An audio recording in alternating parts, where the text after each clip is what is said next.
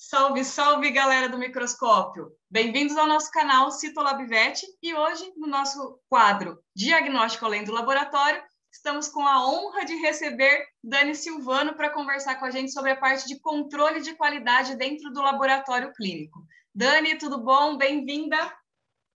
Oi, Gi, boa noite, tudo bem? Obrigada. Tudo. Prazer enorme Obrigada. receber você no nosso canal. Vamos ter um bate-papo bem bacana aí dessa parte de controle de qualidade, que tem muita coisa para a gente conversar. Isso aí, isso aí. Inicialmente, muito obrigada pelo convite, gratidão por estar aqui, por fazer parte do seu espaço, um espaço tão importante aí de educação continuada de todos os colegas médicos veterinários, um, um, um papel extremamente importante do laboratório. E é uma honra fazer parte disso para a gente falar de qualidade laboratorial, que é algo que eu gosto muito. E como gosta, né, Dani? é, tá eu sou suspeita. Aí. Né? Eu sou suspeita. E é, geralmente é uma parte que todo mundo torce o nariz, né? Não é todo mundo que, que abraça isso, assim, que todo mundo fica, ai, que saco ter que fazer essa parte do controle. Mas é. não tem como a gente fugir. Por isso que é legal a gente é. trazer isso para perto da gente e entender melhor. Ô, Dani, antes da gente começar nosso bate-papo, vou deixar você se apresentar é, para quem eventualmente ainda de repente não te conhece, que vai passar a te conhecer e tenho certeza que vai gostar muito do conteúdo, por favor. Claro. Bom, vamos lá, né? É, até pela minha, talvez, loucura ou, é, ou, quando todo mundo vai por um caminho, eu vou lá e viro a curva e vou para outro lado, para vocês entenderem por que, que, que eu fico nessa, que, que eu admiro tanto qualidade laboratorial. Bom, é, eu entrei para o laboratório veterinário desde a graduação no segundo semestre, né? Então, eu fui bolsista de extensão, iniciação científica, fiz três iniciações científicas, então eu já saí da faculdade sabendo que eu queria trabalhar com laboratório, até porque eu excluí todas as possibilidades de clínica, cirurgia e etc., né? Fazendo muito estágio, então, se tem algum estudante que vai assistir a gente aqui, já saiba que você tem que né, é, ter várias experiências para definir aquilo que você realmente quer é, seguir. Nada que impeça você depois de dar uma mudada, tá? Mas tudo bem. É, bom, aí depois eu fui para residência, né? Fiz residência, mestrado e doutorado pela Unesp em São Paulo.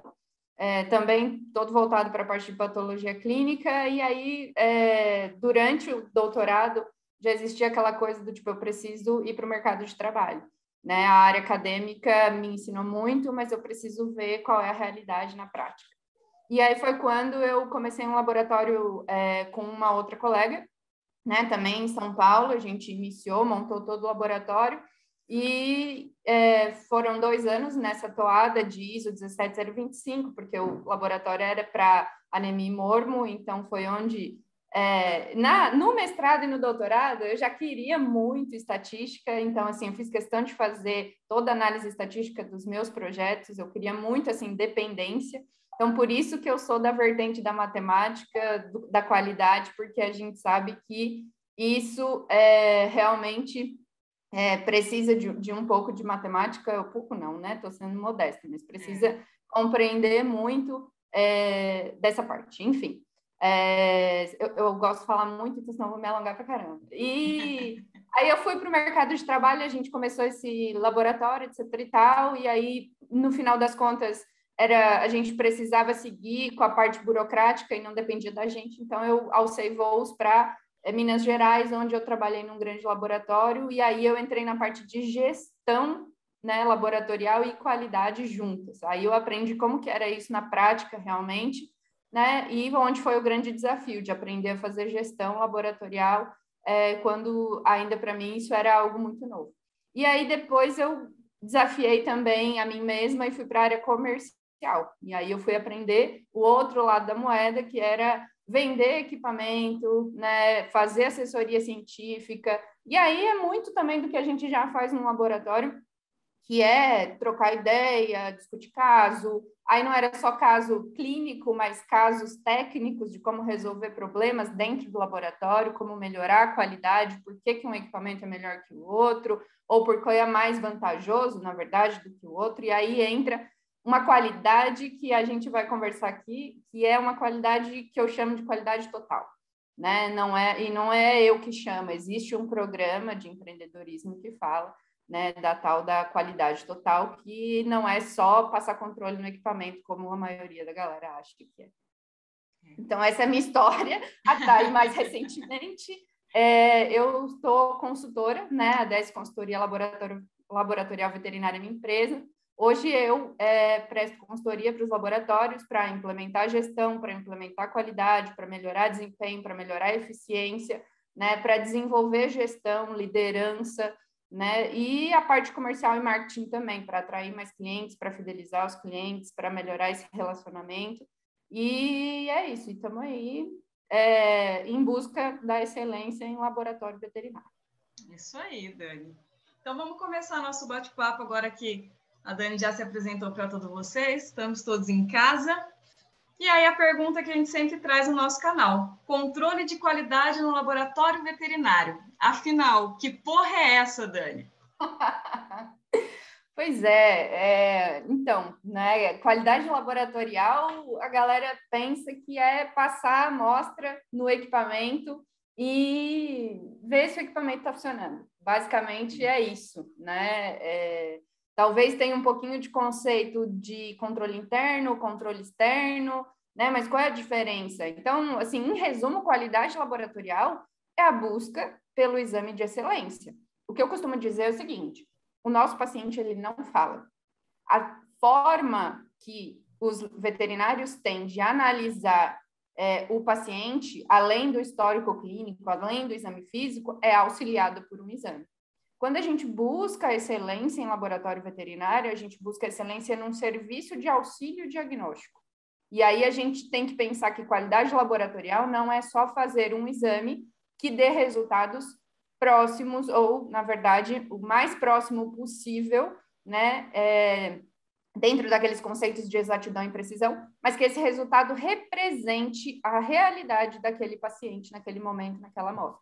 Então, a qualidade laboratorial busca isso, eu trazer o resultado mais próximo do real possível. Por que, que eu uso mais próximo do real possível? Porque sempre vai ter aqueles pequenos percentuais estatísticos de variação e tal, que a gente tem, é, e que isso é uma abordagem mais ampla da qualidade laboratorial. Mas, é, então, é, a, a qualidade laboratorial é isso. E aí, indo para uma visão mais ampla né, da qualidade laboratorial, além de entregar um resultado, um laudo, um papel né, é, de resultado, a gente entrega um serviço de qualidade.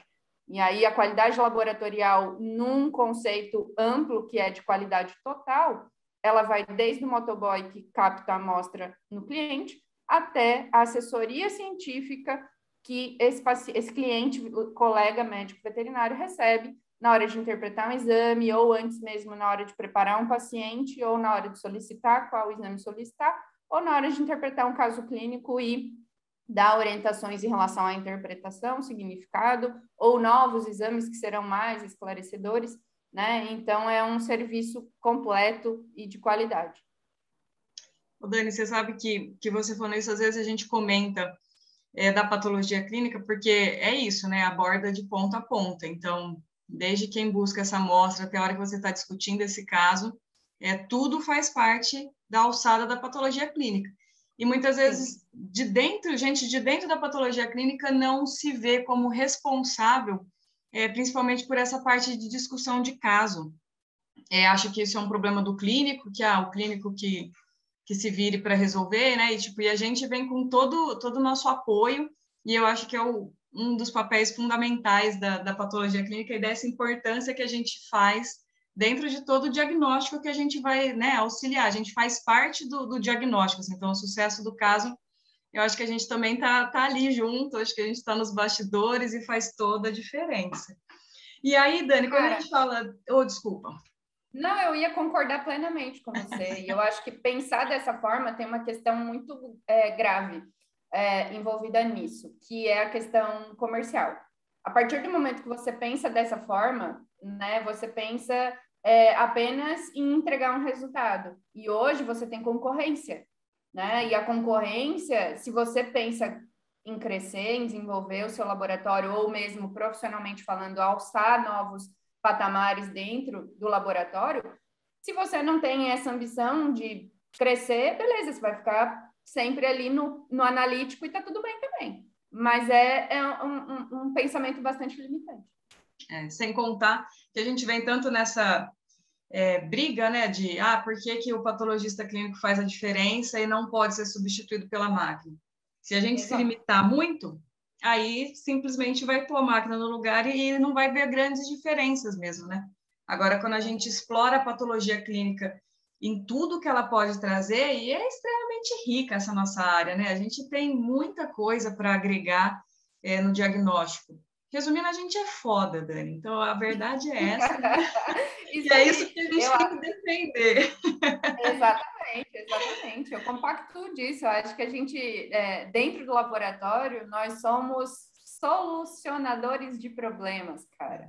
Né? Então, assim, eu, eu te entrego algo que muitas vezes vai te dar a luz para um caminho que estava na escuridão. Então, a, e, e, não só pela entrega do laudo, porque é, pensa numa questão muito prática e estatística.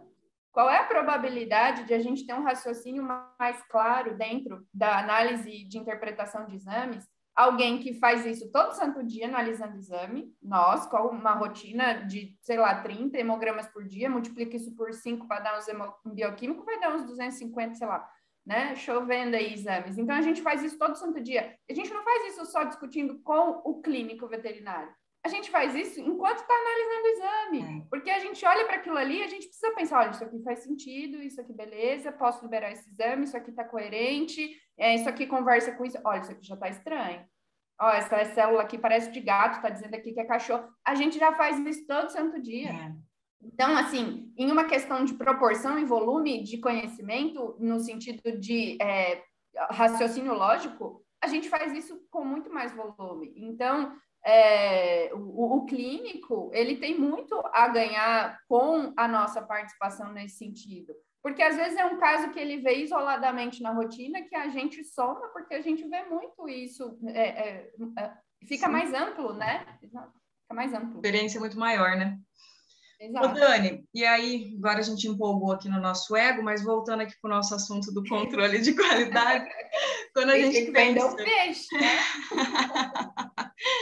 quando a gente pensa nessa questão do controle interno e do controle externo, algum dos dois é, tem um que é mais importante, que ah, vou começar minha parte de controle. Ah, o, o imprescindível é ter ou interno ou externo, ou obrigatoriamente os dois. Tem algum que dá para abrir mão? O que, que é a tua opinião a respeito disso? Bom, se nós não tivéssemos a resolução 1374 hoje, é, eu te diria que dá para escolher um.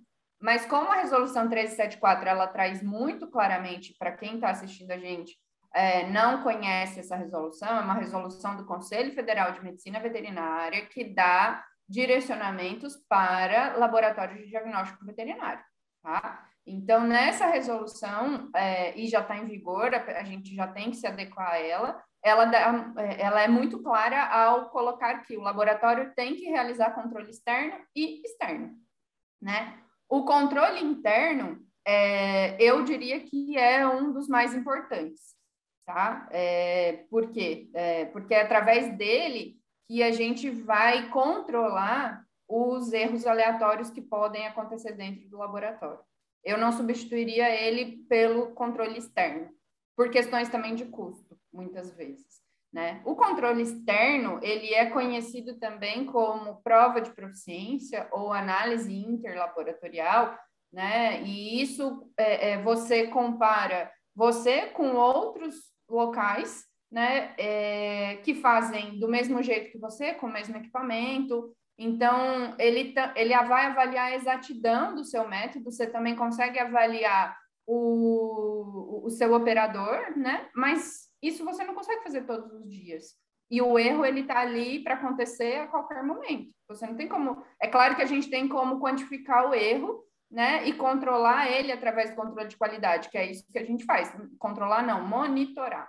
Uhum. Mas é, dentro das duas possibilidades, se pudesse escolher, eu ficaria com o controle interno para e se você estiver iniciando a implantação, inicie pelo interno e depois você busca o externo né? Até porque isso também envolve custos. O, o, o programa de proficiência, normalmente, você tem que fazer parte é, através de uma instituição provedora que vai te mandar amostras.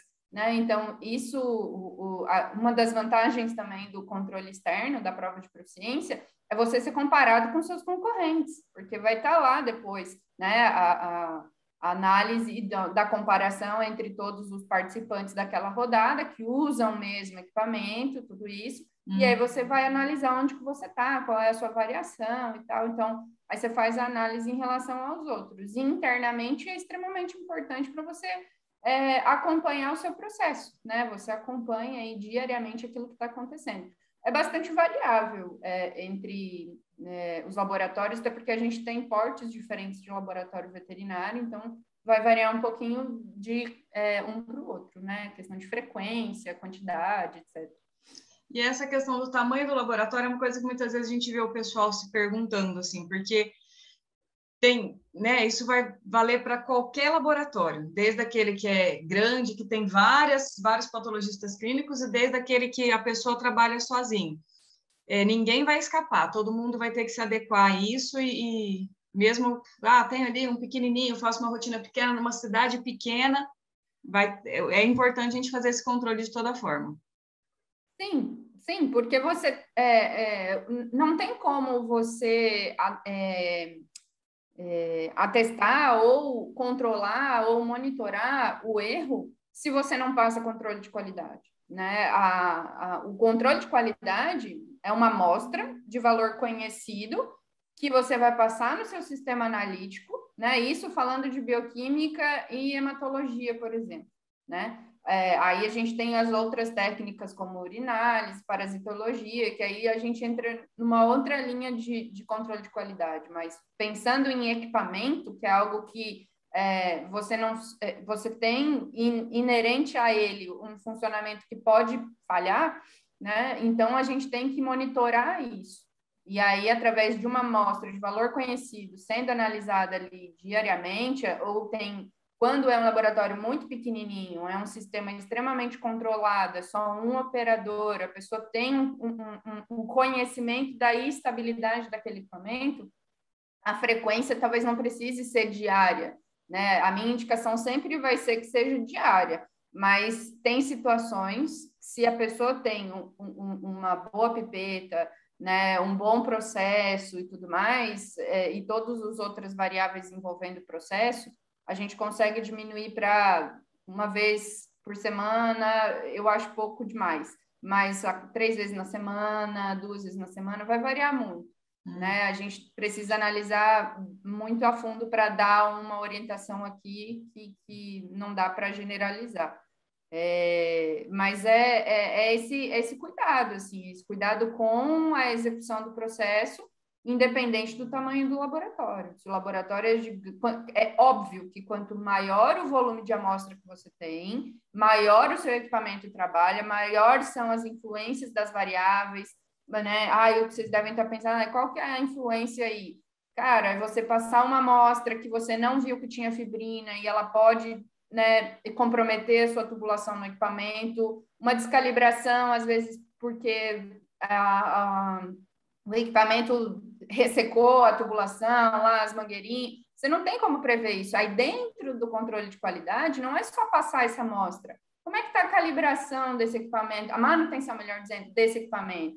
Você faz a manutenção do seu equipamento, porque tem gente que compra o equipamento e só vai dar manutenção nele quando quebra. É. E aí, é, antes de quebrar, você sabe se ele estava já com um viés ali de resultado? Né? Na bioquímica, às vezes a gente consegue perceber um pouquinho mais fácil, porque ah, a LT está dando sempre alta, né? A é, FA está dando só baixa, sei lá, umas coisas assim que a gente uhum. consegue perceber. Na hematologia, às vezes demora um pouquinho mais. Até porque o controle interno de hemato é mais difícil a galera realizar do que de bioquímica, por conta de custo. Né? Então, tem meios de a gente fazer controle de qualidade em laboratórios pequenos também, com baixo custo. Na Emato, por exemplo, é usando uma amostra do dia anterior é, para fazer uma reprodutibilidade do dia seguinte. E aí você consegue ir acompanhando o resultado.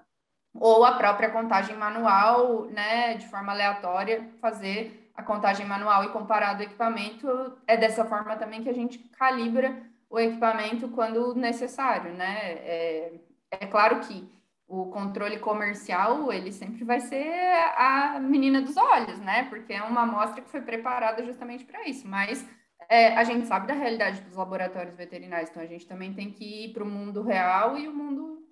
É, é, o mundo ideal e o mundo real. tem que ver até onde dá para ir.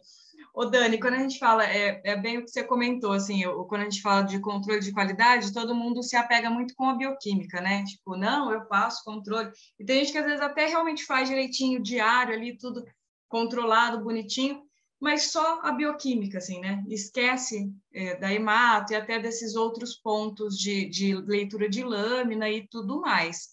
É, você percebe isso na rotina também? Você, você vê que, do, do, que você já acompanhou, no geral, a galera se apega realmente só à bioquímica e acha, que às vezes até acha que está fazendo, né? Esquece realmente, tipo, não, eu faço o controle, sabe aquela coisa igual o proprietário? Você vacina seu animal? Vacina, toma vacina de raiva todo ano, tipo, só de raiva. É. Às vezes a gente acaba fazendo algo semelhante na nossa rotina, e isso é um cuidado que a gente tem que ter, né?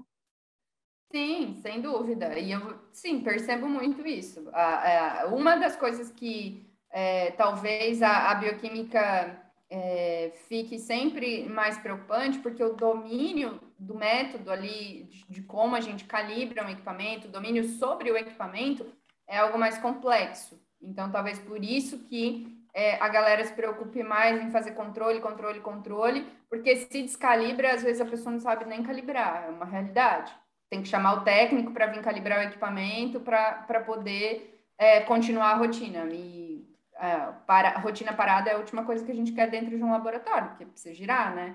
Então, por isso que a galera passa tanto controle, porque, né? Só que aquela coisa, passar controle, mas, e hoje na 1374 isso também precisa. Eu preciso passar controle, eu preciso registrar esse controle, eu preciso interpretar esse controle, eu preciso anotar as ações que eu tomei em relação a esse controle, né? E, e isso também vale para hematologia. E o que, que é isso, né? E por que, que a galera fica só na bioquímica e esquece da hemato? A hemato é esquecida é, porque o controle comercial é caro e é, é humano, né? O veterinário é muito mais caro. Então fica assim, ah, não tem controle comercial, como é que eu vou fazer? Não vou fazer, né? Mas tem formas de fazer como essa que eu comentei, só que ambas as, as formas a gente precisa olhar para esse resultado e analisar criticamente, né? E fazer registros disso para avaliar também a variação desse equipamento, né? Se um dia ele está contando menos, um dia ele está contando mais, um dia ele está dosando mais alto. E isso na hemato a, a gente tem, tem, a gente observa no dia a dia, né? Porque a gente confere em lâmina, então tem formas também através da lâmina de, de a gente fazer um controle de qualidade, né, é, é, também, até porque é, é um controle de qualidade não com uma amostra de valor conhecido, mas é como se fosse um double check, eu vou conferir aquilo que a máquina é, contou. E aí, depende do laboratório, ele tem uma metodologia ou não. É, depende da escola, você é ensinado a estimar é, visualmente quantos leucócitos tem na lâmina, e você consegue, através né, do, tem lugares que não sabe fazer isso, mas tem gente que sabe, tem um olho bem treinado e fala, ó, daqui tem 5 a 10 mil leucócitos. Pá, olhou, a, a máquina contou legal. Não, a máquina não contou, então vou conferir na contagem manual. Plaqueta, tem lugar que também faz assim, hemácia, já é um pouco menos, porque é, é, o número é maior, então a variação é menor. Mas tem desses gatilhos para a gente colocar barreiras humanas, né? É, já que a gente não tem uma barreira biológica ali de passar uma amostra com valor conhecido, a gente cria outras estratégias dentro da realidade de cada laboratório para poder fazer o seu controle de qualidade e ter segurança naquilo ali. Ah, mas eu não estou confiando na contagem do seu equipamento, eu tenho que calibrar, né? Aí entra dentro daquilo que eu falei, ou você usa a, a contagem manual, ou você vai para uma análise interlaboratorial, que tem o mesmo equipamento que você, aí você manda mesmo, e aí a gente tem artifícios para é, usar o controle de qualidade na hematologia também, que tem que ser muito criterioso, né? E o controle de qualidade não é só número. É, eu tenho que ter um controle de qualidade também na padronização da leitura da lâmina, Né? Tudo bem, quando é só uma pessoa, beleza, ela vai fazer sempre do mesmo jeito. Ela já tem um padrão dela, mas beleza, essa pessoa vai sair de férias e vai ter uma outra ali. Ela precisa treinar essa pessoa, ela precisa passar para essa pessoa, olha, como que é feito aqui? É dessa forma, assim, assim, assado. Por quê? Porque precisa manter o padrão. Aí amanhã você sai de férias, entra outro no seu lugar, o laudo começa a sair mal estranho, né? Não sai aquelas informações que normalmente você coloca, ou não tem o mesmo critério de, de, de análise ali. Então, isso também é controle de qualidade. Você treinar a sua equipe, é você manter um padrão de entrega né, da qualidade. Em relação à bioquímica, a gente, além de passar controle todos os dias para avaliar o funcionamento do equipamento, a gente também tem a questão das repetições de exame, né? Que é um artifício dentro do laboratório para conferir se o resultado está adequado. Uhum. Né? Aí tem equipamentos que não dá para fazer isso, tem equipamento que, que não. É, é, os point of cares que o pessoal usa, quer dizer, dá para repetir, mas o custo é maior. Então a pessoa tem que levar isso em consideração. Né? E muitas vezes olhar alguns resultados e questionar. Uh, além disso, os point of cares muitas vezes eles não têm diluição de amostra, então às vezes o resultado deu acima da linearidade, né, que é acima da, da capacidade ali de, de estabilidade da reação, e aí a gente, numa rotina de sistema aberto, a gente consegue diluir, conferir esse resultado, passar isso para o cliente, né, para o veterinário. Agora, num sistema fechado, a gente já não tem muito isso sem ter grandes gastos, que seria ter que diluir essa amostra e passar tudo de novo. Então, são coisas e características de sistema que a gente tem que analisar, mas o controle de qualidade é, vai estar tá em todos os processos. Falei de hemato, falei de bioquímica, aí teria urinálise, parasito, né? É, são, são sistemas mais complexos de a gente implementar controle de qualidade. Uma das coisas é padronizar e treinar, ter é, procedimento, ter é, identidades visuais para quem está lendo isso e, e identificar. Uh, e aí a gente trabalha normalmente com amostragem, né? Fazer uma amostragem é, diária ou semanal e fazer uma releitura, né? Ou ter uma segunda opinião, né? Fazer um segundo leitor para fazer um cross-check de como que está porque daí você não tem como comparar todos, mas você vai saber se o seu processo está sendo feito de forma correta, né, é, dentro dessa, dessas técnicas que não tem uma quantificação em uma máquina, enfim, mas você tem um sistema de qualidade implementado ali. Não, legal, Dani. E uma outra coisa que eu percebo muito conversando com os colegas, assim, é nem sempre o patologista clínico é o dono do laboratório, né? É, é o gestor ali da, do local. E muitas vezes fica amarrado, né? Às vezes o gestor ou é, de, é veterinário, mas é de outra área, ou às vezes nem é veterinário, é mais da parte administrativa. E é o que você falou, você trabalhar com essa parte de controle, você tem um custo. Então, seja o controle da bioquímica, você está usando reagente, você tem que comprar o controle da hematologia, a gente falou que o controle já é um pouco mais caro. É, então, você vai mandar para um outro laboratório parceiro para tipo, fazer um comparativo, você tem que pagar por isso. Então, assim, tudo vai envolver um custo. Por mais que você tente minimizar esses custos, isso sempre vai estar envolvido. E às vezes, se o gestor não está muito preocupado com isso, é, não vê essa importância, muitas vezes o patologista clínico fica limitado, né? Ele até quer fazer, mas tipo, ah, não consigo, ah, a chefia me breca, não compram o que eu uhum. peço. Dá para a gente tentar ganhar esse espaço assim dentro de um laboratório que às vezes não é seu? Dá, dá, mas eu costumo dizer que fatos falam mais que opiniões. Então, uma das coisas que o patologista clínico ele tem que fazer é anotar os problemas, porque é, problemas que não são registrados muitas vezes não são resolvidos. E aí, é, ou são resolvidos de forma momentânea. Ó, deu um problema aqui, eu resolvi, aí deu aquele custo a mais lá para o laboratório, né? E aí você vai resolvendo as coisas de forma pontual. Quando você traz dados, olha, em, no mês eu tive tantas perdas porque eu tive que repetir tantas amostras. Olha, no mês eu tive é, que descartar, é, mandar para fora tantos exames, o custo disso foi X, eu poderia fazer internamente, o custo seria Y. E aí, com dados, você convence, porque um dono do negócio, ele quer ver número, ele quer ver vantagens financeiras. Não adianta a gente romantizar isso, porque não é. Né? Então o negócio tem que ser muito sério. E aí a gente fica muito no ai, porque tem que, porque tem que, porque tem que. Tá, mas tem que. Você tem que convencer alguém de alguma forma e você convence através. Ah, porque eu quero trocar de equipamento, porque o fulano usa tal e é melhor.